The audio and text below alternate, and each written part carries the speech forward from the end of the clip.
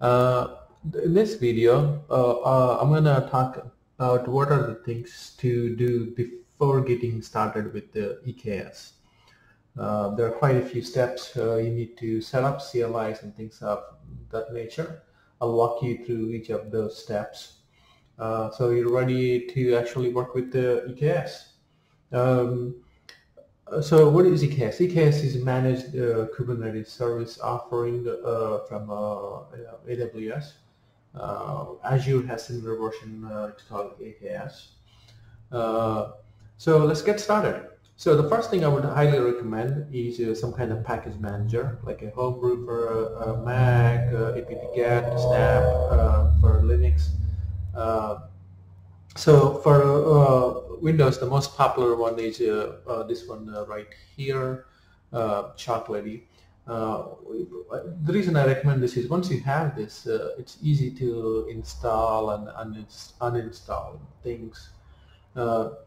So I just installed right before this uh, video, but uh, I'm going to show you the steps how to install this. It's a very two-step process. Uh, so go to your start, go to uh, go to your PowerShell, uh, right click, run as administrator. So you basically copy this command here to get your execution uh, policy. So I, mine is actually originally set up as this.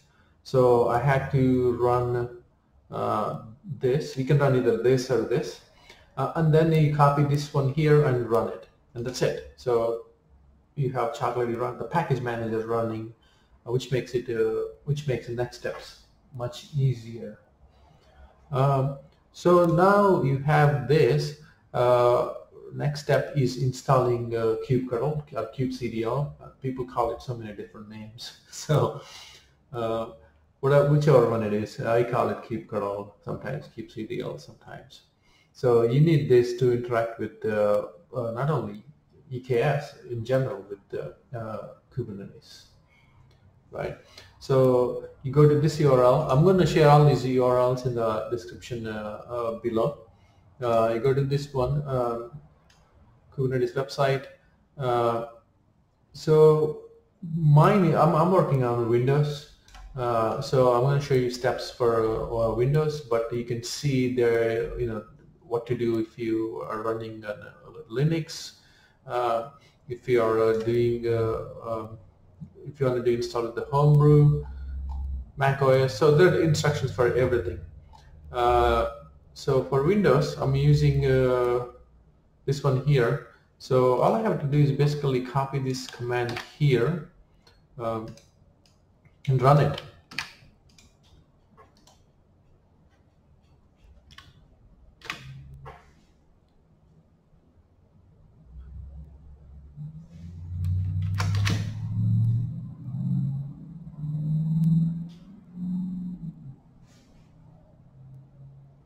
So now I have kubectl installed as easy as that guys.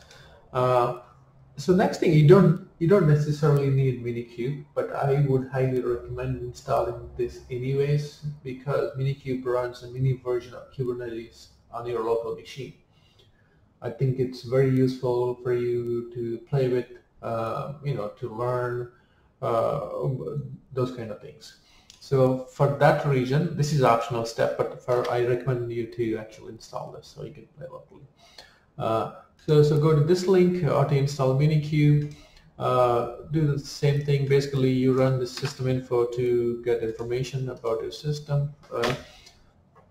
It's going to gather some information and show it to you. So basically, you come here to Hyper-V requirement and see if you're compatible uh, or you already have a um, hypervisor installed. In my, in my case, I don't have it uh, but it's compatible. Uh, so, so next step you do is basically you install Hyper-V on VirtualBox.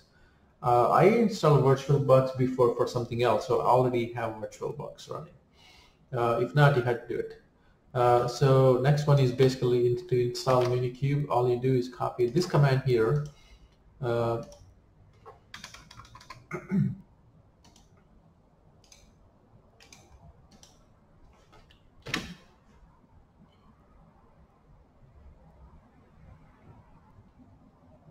So this install Minikube. Um, so now you have a, a package manager, uh, you have uh, uh,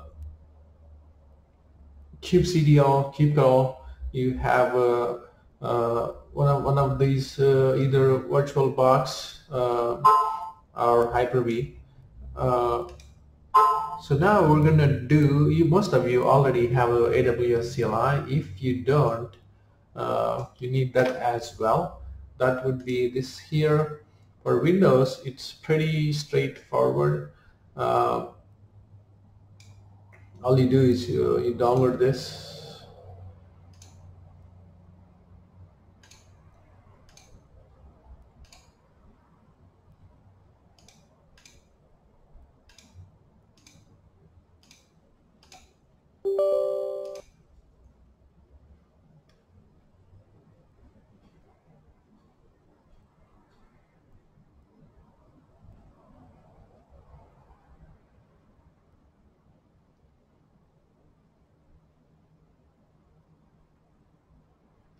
Takes a minute or two, uh, pretty quick.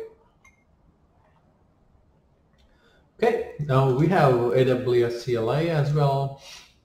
Uh, the final thing is basically to actually install uh, EKS CLI. Uh, you need this to actually talk to EKS cluster. Uh, this is also very simple with the package manager. Uh, you run this. Uh, and uh, you have uh, well I installed this before I guess. I uh, so it's a if you if you don't have it it's going to install it or if you can uh, to upgrade it you can actually run this command here. Uh, so that's pretty that those are the basic things you need uh, before you get started with the EKS so have some kind of package manager you have a, a either a VirtualBox or Hyper Hyper Hyper-V, uh, uh, and then the Minikube is optional, but I recommend that you have it. Uh, AWS CLI and the EKS CLI. Now we have now we have those. What I want to do is basically just verify uh, you know everything is okay. Uh, basically, go here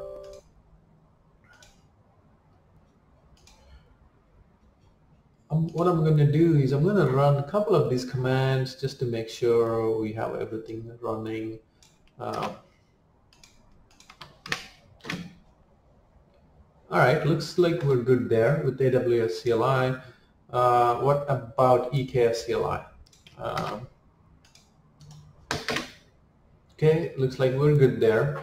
Uh, let's check. Uh, let's check Minikube. Uh, actually, before checking Minikube, uh, let's check kubectl, kubectl. Okay, uh, we're good there. Uh, with the Minikube, also you can actually do Minikube start.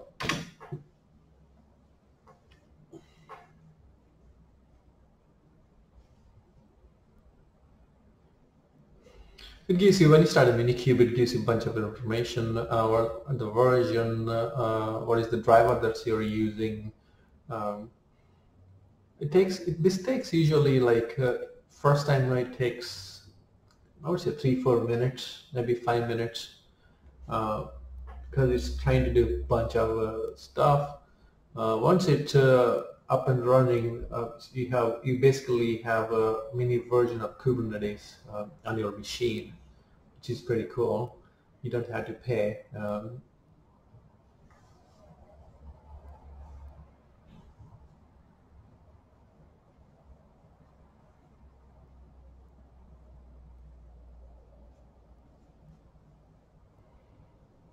All right, so so now this is uh, running. You can actually check uh,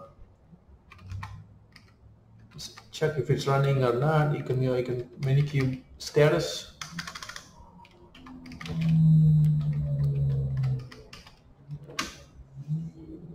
Tells you hey uh, you know host is running kubectl running all the stuff uh, gives you all the information. So this is basic verification to make sure uh, you have everything set up uh, to work with uh, EKS. Um, this is all. These are the these are the main components uh, you need before getting started with the EKS, guys. So in the next video, we'll go a little deeper on uh, how what to do with EKS and how to create clusters and how to work with those kind of things. That's it, guys. Thank you very much.